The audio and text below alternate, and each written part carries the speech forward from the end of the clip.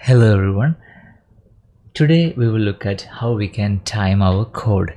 So you have a piece of code and you want to see how how long it takes for it to run so that you can compare, optimize the code, see which portion of your code takes more time and so on and so forth so we have written uh, you know different codes uh, in our discussion.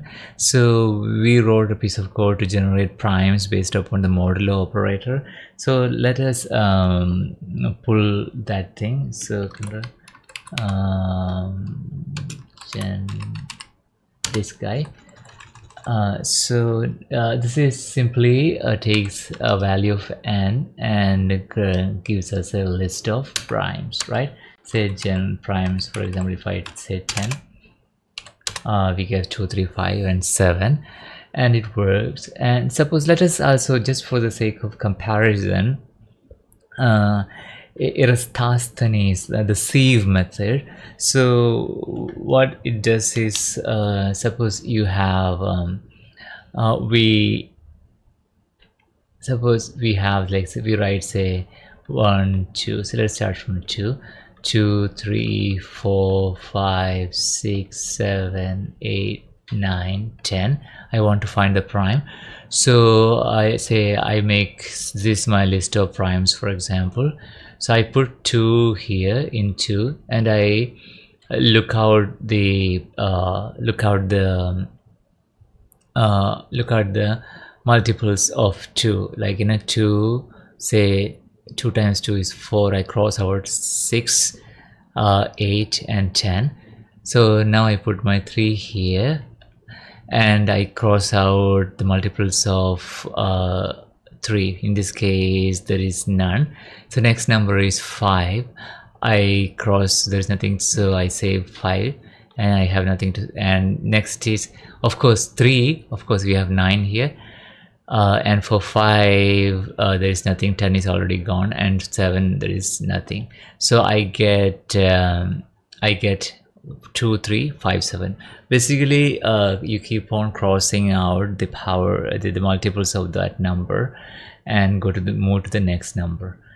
And um, so now to let us write a piece of code so that we can compare the timings of the one with the modulo operator and the sieving. Let us call this um, uh, so how do we do it? So let us do uh, takes maybe you know total number maybe we can say n number right? Is something like 10 and up to 10 we want to find and uh, we need a list to save it right? So say primes for example equal to an empty list. And then um, we we need to uh, we need to generate the list of say 10 uh, numbers the all the numbers 2 3 4 5 so maybe call it as a numbers you know list uh, from say right num2 num plus 1 which is 10 so 2 3 4 and it will include also 10 so now let us write a loop say for say z in range. Let us keep it up to num 10 times. So we will break it out if uh, if it gets emptied or something. So let us keep up to so up to 10 so it is iterating over 10 times so now we are going to save the first numbers like it's 2 as a prime okay? Say my first p or something is will be numbers 0 okay? I saved p2 and I am going to uh, now what I have to do is I have to append that p in and the primes. So primes dot append p so we are just not optimizing or anything. We are uh, writing exactly the way we're thinking. Um, and the idea is not to make it fast. We want to just uh, do have another algorithm uh, and we'll just compare you know just for the demonstration purpose. So now primes dot append p. So now we are going to find the multiples right? For say k in uh, range. Uh, so for one word we will start with 1 and suppose if I take 2 I have to say I have to go up to 5 right? So 10 by 2 which means maximum number is num. I want to take the, uh, the floor division. Basically reminder. So in this P so if P is 2 that will be 5 and let us take one one more than that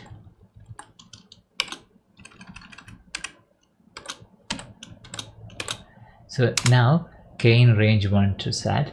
And so basically what we are going to do is we are going to remove it using the list remove operator from numbers right? So it may give an error if it, the number is not there. So we'll put the try except statement. We already seen that. How do we do it?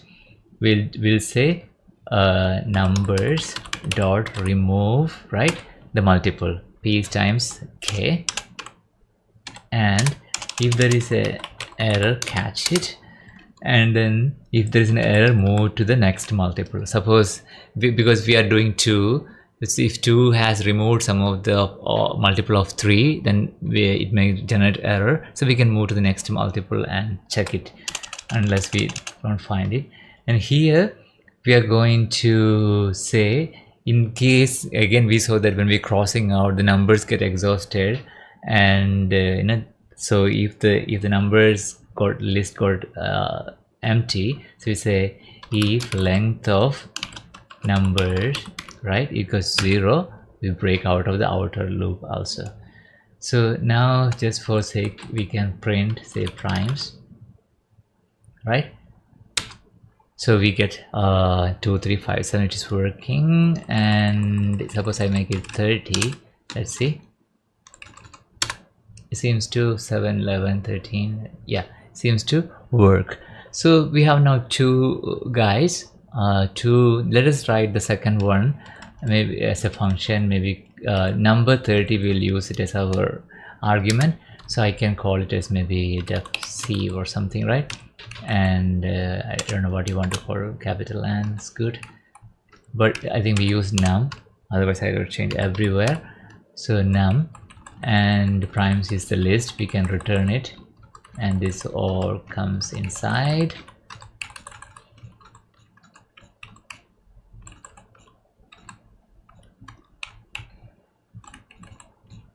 Yeah. And this one is not necessary right? We can just say here. I believe the alignment is correct so we can check it see maybe 30 which right? It's fine it's working fine. We can also check our gen primes for 10 it's working.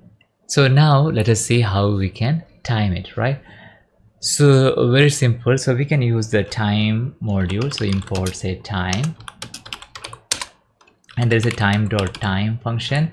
It gives the time in seconds with respect to a certain time in the uh, past so if i do time dot time after a few seconds uh, suppose for example i have say i say say x equal to uh, time dot time and then I, I wait one two three four like that and then I do again. So y minus x gives me uh, the time passed between the two so, seven seconds whatever. Uh, so so now uh, we can use these tools right? So I can what I can how what can I can do? Something like start is time dot time and then control O. Then I'm gonna call maybe my gen primes. Let us do maybe thousand. Let's do sim uh, a hundred first right and then we can increase and see. And end equal to maybe again. And uh, and let us also give the time between end minus start right? So it gives a very very small time and then let us increase maybe thousand. Uh, and let us maybe go to 10,000 right?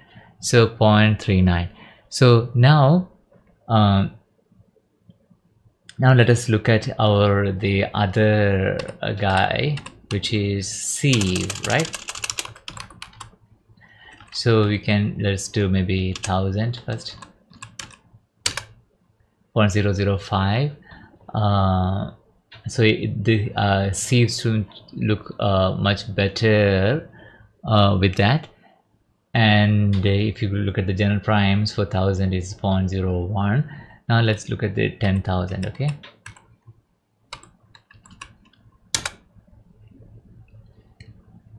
so 10,000 it is taking much longer and compared to the gen primes so basically if you look at the code we have uh, the sieve method of course there are two uh, the gen primes has two um, if you look at the gen prime right? Control R.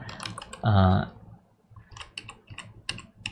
if you look at gen primes here uh, we have like um, only one main operation which is the modulo operator and and how many times that is done. You know we can check how many times is done. We can get an idea. On the other hand in the sieve uh, even it is working better for the small case faster but when the size of the list increases we have lots of pop we are popping out things you know removing things and how many times that operation is taking place all those things comes into play. So now uh, we can also look at another way of uh, timing the module. There's something called timeit in this particular module for import timeit timeit. So from timeit will import we'll just look at that that particular piece of code timeit okay? So timeit is, has other functionalities too so we'll just look at timeit. So now i can just say timeit. And we we uh, we can't really pass for example gen primes 1000 like that so because uh, we have to say have a function without any argument. So we can just wrap it inside a lambda right? Say lambda lambda expression. So now uh, I pass a lambda without any uh, without any arguments. So gen primes has an argument. So now we can also say number so how many times the function needs to be evaluated for that particular value? So we can do the 50 and compare and we don't need that at the moment. So this is this. So let us do for our also for 10,000 and we can also look at um, our sieve 4000 and sieve for 10,000 so so if you look at you know um, if you look at uh, we get similar ideas right? Uh, it's at low value gen primes is uh, the sieve performs outperforms when it when the number of uh, number of increases uh, primes the you know we have the, the, its performance is getting degraded. And it is not that it's bad or something. So there are better ways to code it and optimize it. There are better algorithms. We don't have to do all tuck tuck tuck tuck you know popping out and all try and accept and everything. Uh, so there are better ways to code it. So but so now you can experiment with your code and you have ideas to how to time your code. And thank you very much for watching